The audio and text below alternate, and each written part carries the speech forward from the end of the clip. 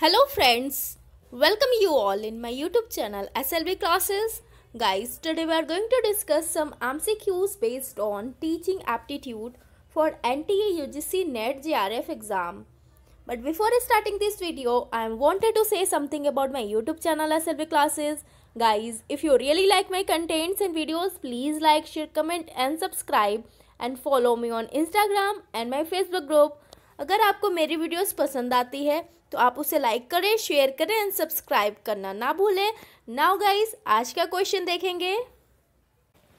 Now guys आज का question देखिए। Question based on UGC NET exam दिसंबर 2017 इसके पहले हम लोगों ने पढ़ा था 2018 जुलाई का। आज हम लोग जानेंगे दिसंबर 2017 में यूजीसी नेट पर बेस्ड कौन कौन से क्वेश्चन इंपॉर्टेंट पूछे गए हैं। Okay okay? तो क्वेश्चन क्या है? Which of the following set of statements best represent the nature and objective of teaching and learning okay तो यहाँ पर बताना है कि इसमें से कौन सा बेस्ट रिप्रेजेंट कर रहा है nature and objective of teaching और लर्निंग दोनों का? Okay guys teaching is like selling and learning is like buying ठीक है? तो यहाँ पर बात हो रही है कि टीचिंग एक तरीके का क्या है? सेलिंग है और लर्निंग क्या है? बाइंग है। यानी टीचिंग बेच रहा है और लर्निंग क्या कर रहा है, खरीद रहा है।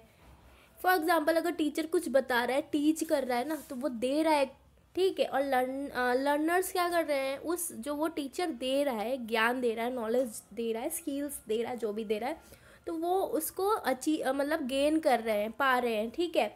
तो एक तरीके से खरीद रहे हैं। तो वही एक प्रोसेस यहाँ पर बता दिया है कि टीचिंग एक तरीके से सेलिंग है, बेचना और लर्निंग क्या है? खरीदना है। एक ये स्टेटमेंट है सिर्फ़ और सिर्फ़। ओके गाइज़ नेक्स्ट नेक्स्ट बोल रहा है teaching is a social act while learning is a personal act okay teaching implies learning where is learning does not imply teaching teaching is a kind of delivery of knowledge while learning is like receiving it teaching is a interaction and is Tragic in nature, whereas learning is an active engagement in a subject domain.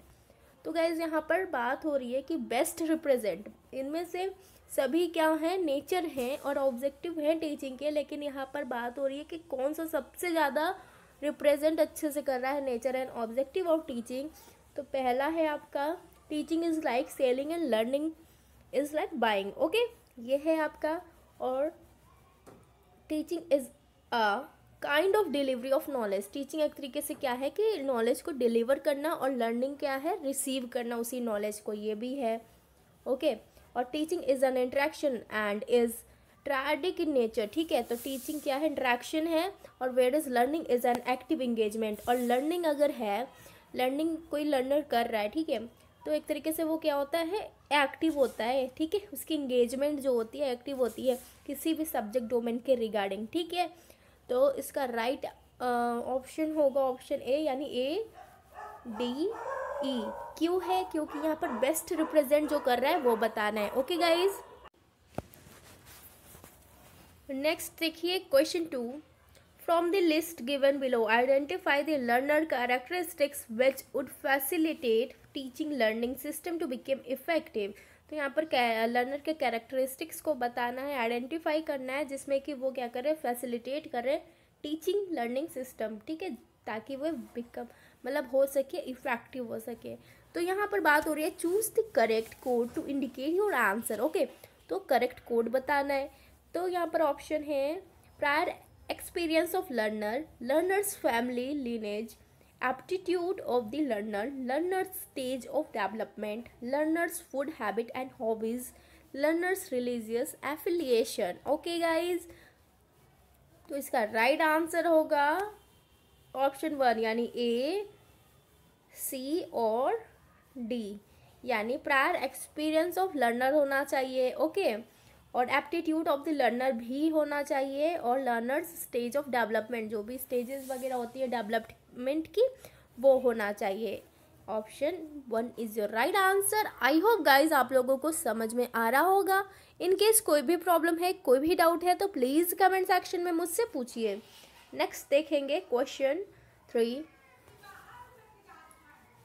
assertion and reason यहाँ पर दिया है। Okay okay guys तो यहाँ पर है all teaching implies learning ये आपका सही है, क्योंकि सारे टीचिंग क्या करते हैं इम्प्लाइज करते हैं लर्निंग को। ओके रीज़न इसके बिहाइंड क्या है? Learning to be useful must be deliver from teaching learning क्या होता है? बहुत ही ज़्यादा यूज़फुल होता है और कहाँ से डिलीवर होता है? टीचिंग से।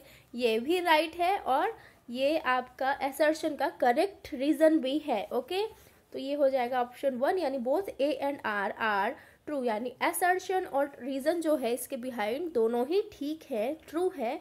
और R is the correct explanation of A और रीज़न जो है करेक्ट एक्सप्लेनेशन है एसर्शन का.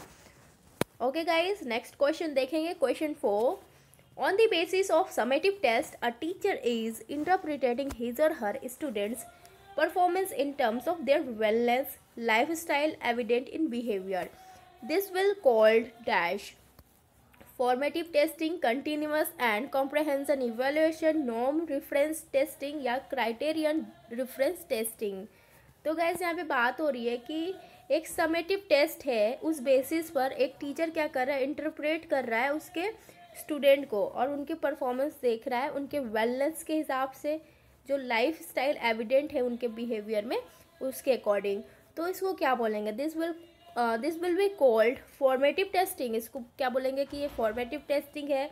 कंटिन्यूस एंड कम्प्रहेंसिव इवेल्युएशन है। नॉर्म्स एंड रेफरेंस टेस्टिंग है या क्राइटेरियन रेफरेंस टेस्टिंग है। तो गैस इसका राइट right ऑप्शन होगा। क्राइटेरियन रेफरेंस टेस्टिंग ओके तो option D is your right answer next question देखेंगे question five which of the following is a key behaviour in effective teaching तो यहाँ पर बताना है कि इसमें से कौन सा है की बिहेवियर एक इफ़ेक्टिव टीचिंग का। Using student ideas and contribution यानी स्टूडेंट के आइडियाज़ को और उनके कंट्रीब्यूशन को यूज़ करना। स्ट्रक्चरिंग करना स्ट्रक्चरल वेराइटी करना या क्वेश्चनिंग करना। तो गैस इसका राइट right आंसर होगा ऑप्शन सी यानी instructional variety is your right answer ये रहा वीडियो का लास्ट क्वेश्चन बाकी मैं नेक्स्ट वीडियो नेक्स्ट पार्ट में अपलोड करूँगी। तो आप मेरे वीडियोस को टाइम टू टाइम देखिए। And one more thing is that कि अगर मेरी वीडियोस पसंद आती है तो प्लीज़ उसे लाइक करें शेयर करें एंड सब्सक्राइब करना ना भूलें। और अगर कोई भी प्रॉब्लम है, कोई भी डाउट है तो मैं फिर से बोलना चाहूँगी।